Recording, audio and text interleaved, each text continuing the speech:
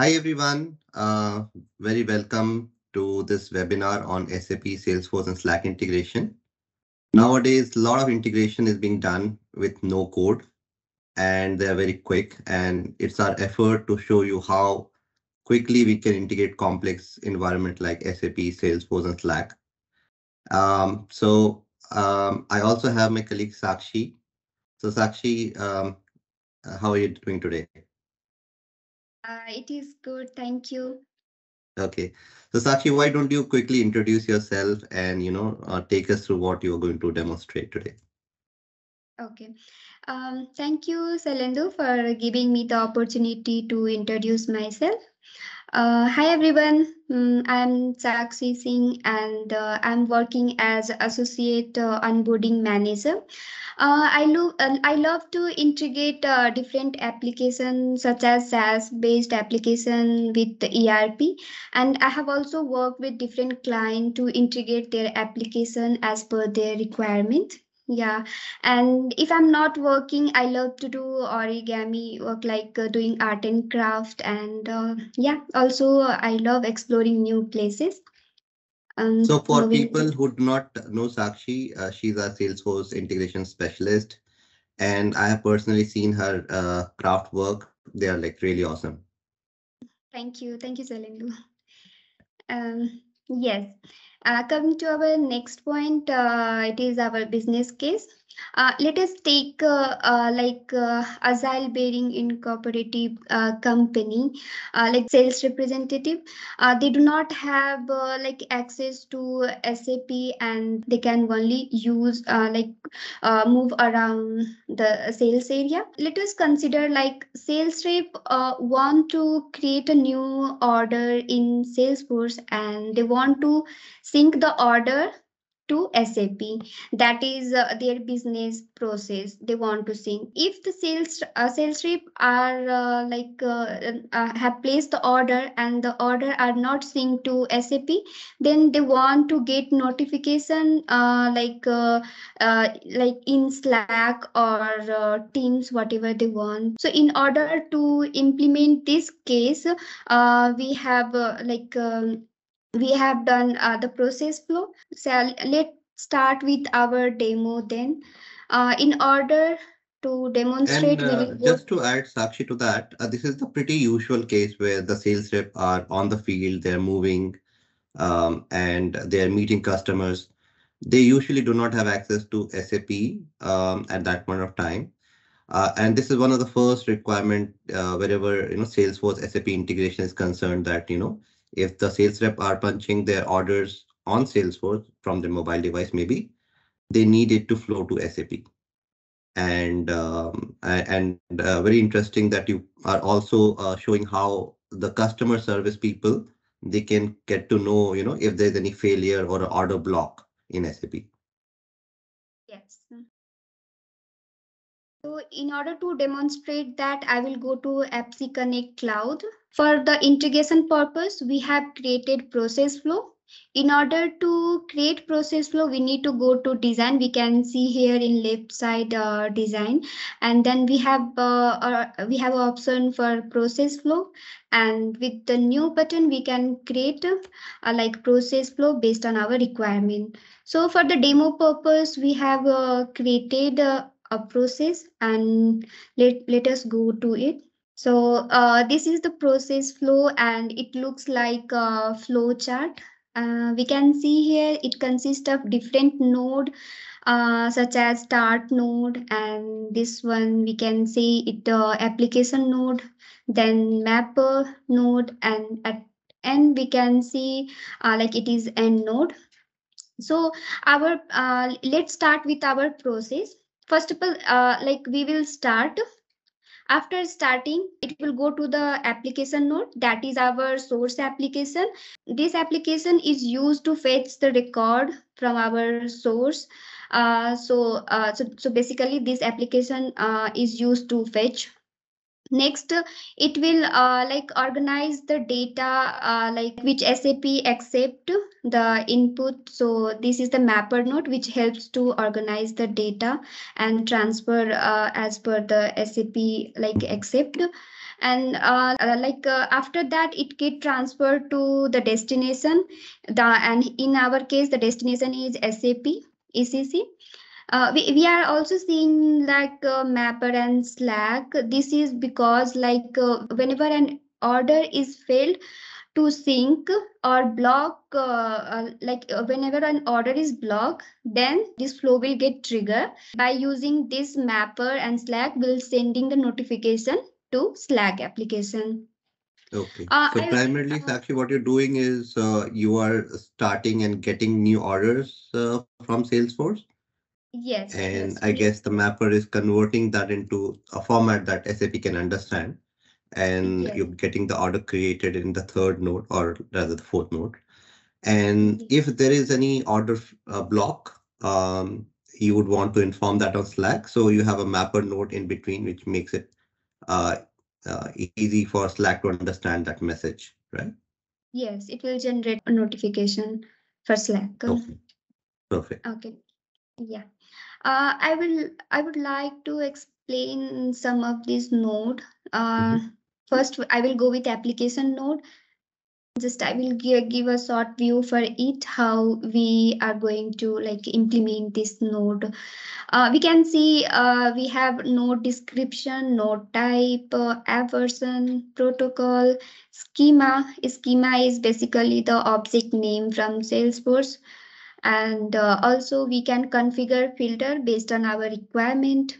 And uh, yeah we have the last one is credential. So we need to select. So uh, node description we can give as per our uh, like uh, uh, uh, requirements. In this case order sync is going on. So i am i have given it as a get new order from salesforce. It is getting the new order. And obviously this is the uh, like source application that is getting the record so ha we have selected get type and and in here we we are selecting the app version and uh, salesforce uh, accept uh, rest protocol so we have selected rest. And in schema uh, uh, we are uh, using order because in salesforce we have order object so that's why um, it is has been selected. And in this we have configure filter be, uh, like uh, if that uh, uh, criteria meets then only it will uh, get the record from new uh, like uh, salesforce. So we are here for the application. Next i will go to mapper node. Mapper node uh, basically helps to do field mapping. Uh, here we can see like uh, uh, at right side we can see all uh, the destination fields.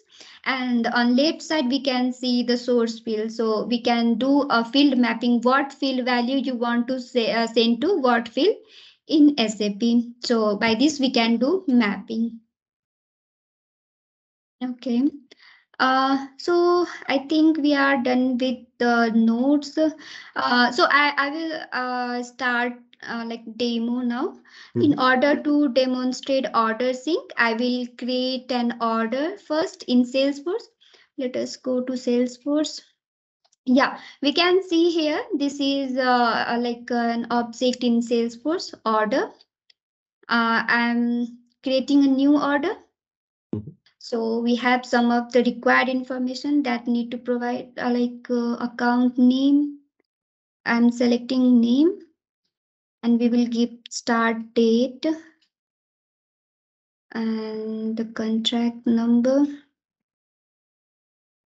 Yeah, we, we can also give other field value based on our requirement, what we want to give. For now, I'm just giving uh, the address. Okay. Uh, yes, I would also like to highlight this field. Uh, actually, this field uh, uh, like uh, will be empty at first when a re new record is created here in Salesforce. Because once an order is synced to SAP, it will send a response back that is doc number. So it will get populated with that value. So we can we can easily have the respective um, like reference by using this. We can check uh, an order in SAP. And also like to mention, uh, I also like to mention that uh, uh, in my in this filter criteria, I have give this field like I have given if the field value is empty, then uh, a record should uh, fetch. Okay.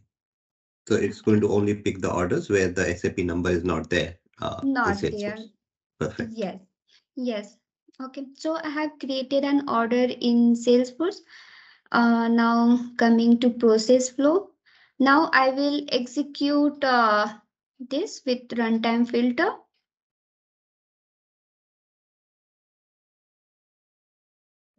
Here we can see our process has been started.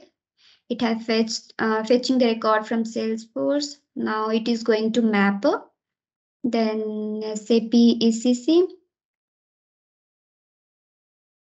Okay. Oh yeah, this has uh, the, this mapper and Slack has been triggered means the order is blocked and has notified to Slack. Now we will go to Slack and check the notification what we have received. Okay, this is the Slack and uh, we have webinar channel and in this channel we can say uh, check the notification what we have received. So we can see that order has been failed with the uh, like uh, order ID and the reason here. So Okay. this is all about our integration. Perfect. So for this purpose of this demonstration, we had actually kept an overall block on this customer so that the order fails. So thanks, Sakshi, for that. Uh, pretty interesting. Uh, Sakshi, we have few questions coming up. Um, and let's see if you know if we can take them up. The first question is that Salesforce has governance limit. How do you guys deal with that? APPSeCONNECT takes the records in batches, not uh, like uh, record wise. So by doing this, it can do more with the less API call. Uh, and sometimes we also do uh, like real time integration, uh, which has separate optimization. Great. Um, the second question, Sakshi, is that SAP is such a complex system. How do you guys standardize the solution? And how much time does it typically take to integrate SAP with Salesforce? Um, yes, I would like to answer this question. Uh, actually, SAP implementation varies, but uh, integration needs remain same. Uh, so our base solution caters to these usual needs. Uh, Sometimes we also encounter like custom BAPI and custom object. Uh, uh, so by using this no code solution, we can typically reuse 70% of it. Um, yeah, and can do other customization pretty fast. And SAP integration takes two to three months to complete. Great.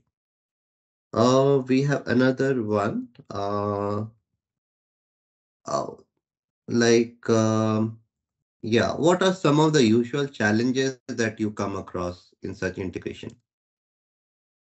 Uh, yeah, it is quite interesting. Like uh, the challenge is, uh, uh, like basically we get uh, like uh, taking the uh, client environment access takes a while. Uh, and also while doing integration, we need to take care of data type. Uh, it is because like some, uh, for example, we can take uh, state in some of the ERP has different value and uh, the Salesforce has different value that may conflict.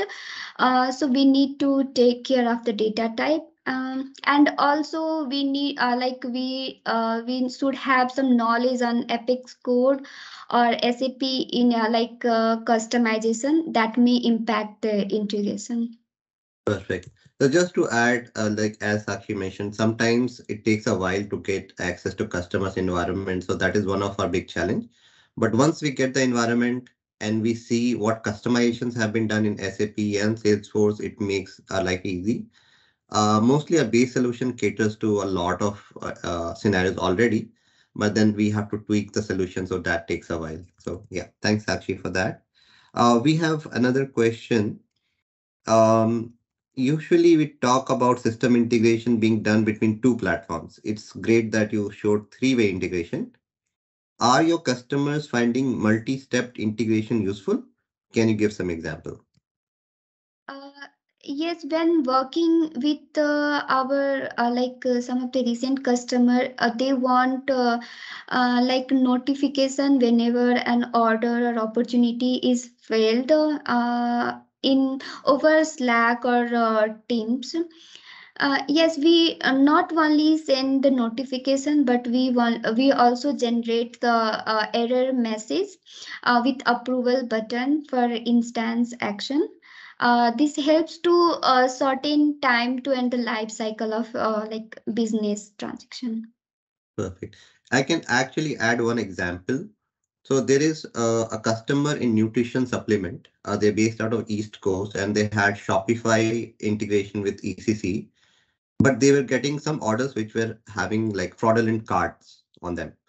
So they would want to, uh, you know, uh, they had a requirement to get notified as soon as any fraudulent order had been placed. So that is one place where we use a three-way integration as well. Uh, I think, Sakshi, there are a few more questions coming up, but uh, I think we'll park them and respond to them offline. Thank you so much, Sakshi. I hope it was really useful for our audience. Thank you so much. Thank you. Talk to you. Yeah. Bye.